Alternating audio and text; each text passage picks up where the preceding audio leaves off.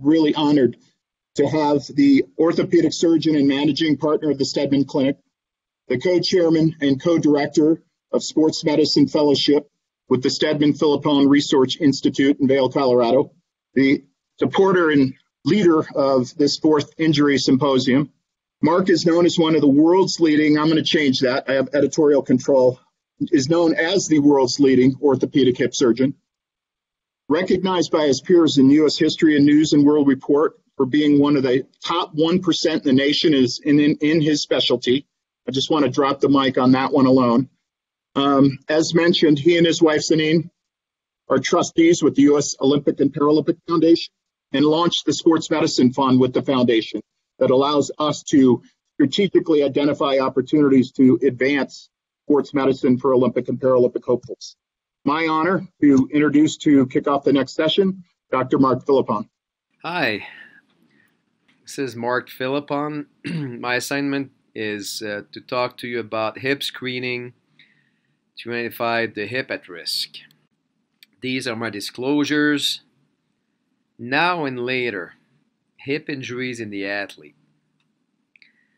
There's been a trend in hip arthroscopy procedures over the past few years.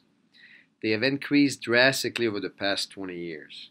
Femoroacetabular impingement, commonly known as FAI, describe a anatomical bony abnormality of the femur or the acetabulum creating a conflict, especially with motion.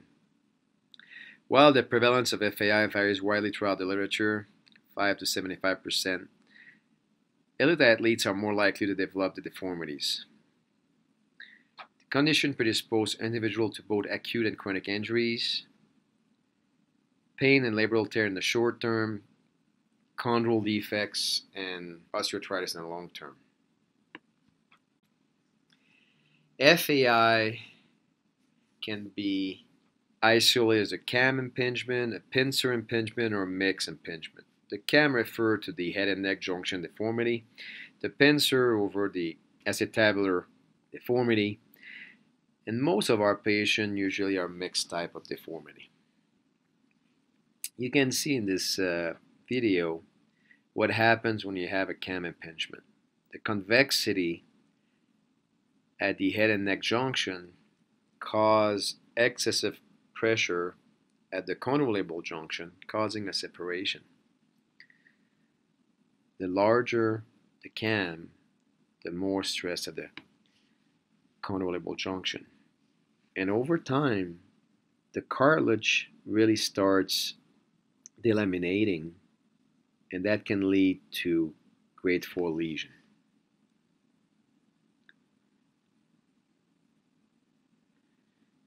The red zones show you the area at stress in a cam impingement deformity.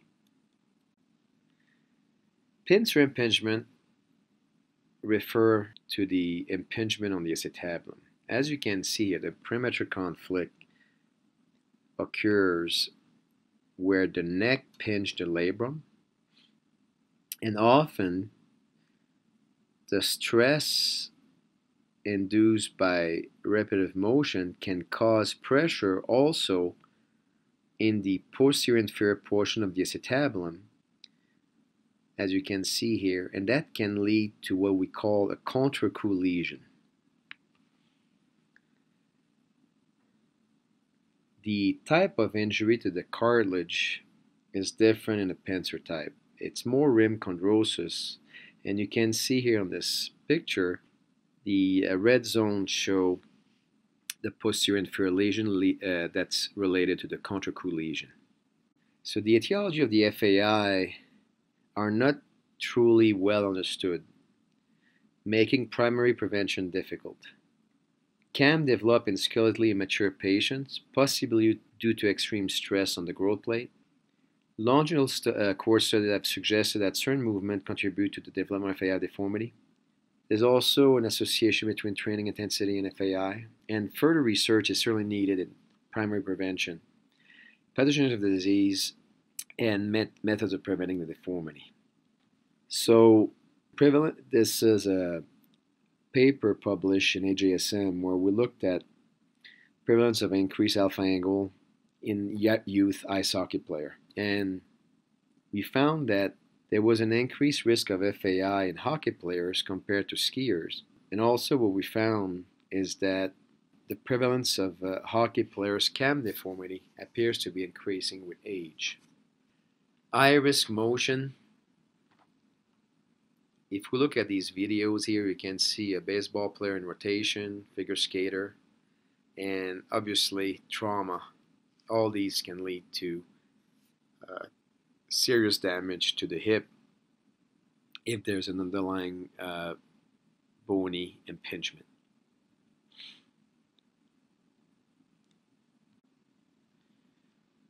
So the research is focusing on sooner prevention, de determining at-risk population, identifying at-risk hips, and managing at-risk hips.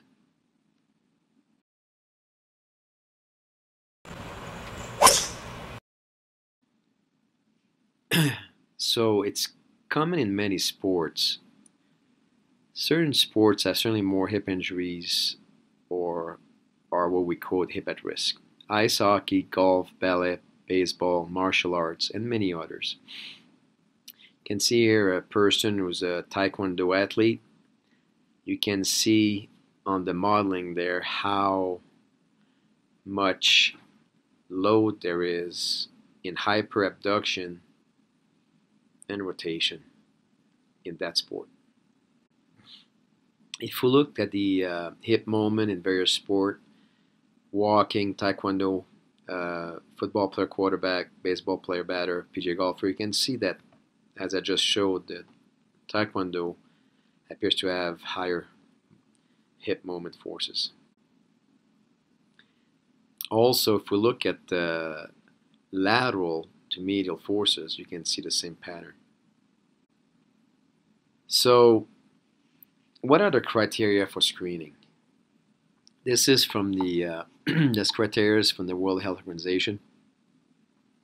The condition being screened is an important health problem, and we know that hip injuries untreated in active people with motion at risk can certainly lead to damage the cartilage. So hip arthroscopy increased eightfold between 99 and 2009.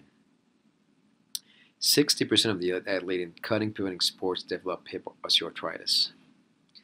There's certainly a detectable early stage, and silent FAI can lead to damage. So it's very important to have some type of screening process, especially in sports at risk like ice hockey. So early treatment is certainly better than later treatment, and it's suitable test to detect at an early age. These are criteria that meets the World Health Organization. So for us, we like to use the Faber distance test, the impingement test anterior and posterior, and the uh, rotation range of motion uh, measurement. Usually in FAI we'll have decrease in rotation. These are example of anterior and posterior impingement tests, how it is performed the Faber distance, you can see here it's positive on the left on this patient. Uh, and we consider it positive if there's a, a difference in the distance of uh, greater than 4 centimeter between the affected and the unaffected leg. Now, sometime you'll have patient about issues. Uh, this will be taken into consideration. Femoral torsion also has to be taken into consideration for this test. So hip range of motion, supine, flexion, abduction, adduction, prone extension to rotation, hip strain, log roll test, pelvic tilt observation, and Trendelenburg gait assessment. This is an example of the log roll test before surgery, and then you'll see the next uh, movement there after correction with capsular plication. Each port is different. I think it's important to understand the motion at risk. MRI screening, uh, oblique axial view, uh, data uh, collected that we like is the alpha angle, labral pathology, and femoral version. So, uh, we're trying to make the screening process portable. So ultrasound uh, is a good tool uh, also to, to use for screening. Pre-participation screening in youth tennis players. We work in, in Spain with uh, uh, the Fondation Rafa Nadal and Clinic Mapfre with Dr. Cotorro, and we really looked at that sport specifically in Barcelona as a, a, great academy to, to follow that. And what we found is that we look at 148 tennis players from that tennis academy. There was no difference in the age tournament played per year or weeks when comparing with players with hip at risk to not at risk. And subject with hip at risk had played tennis longer than nine and a half years compared to those without risk. The pre-participation um, screening also in, in uh, weightlifter. Uh, 85 elite weightlifter uh, were looked at. The average year of competition was 10.6. 70% of the athletes had FAI level pathology. Athletes with CAM were older. And female weightlifter were more likely to have a CAM, different than the other sports.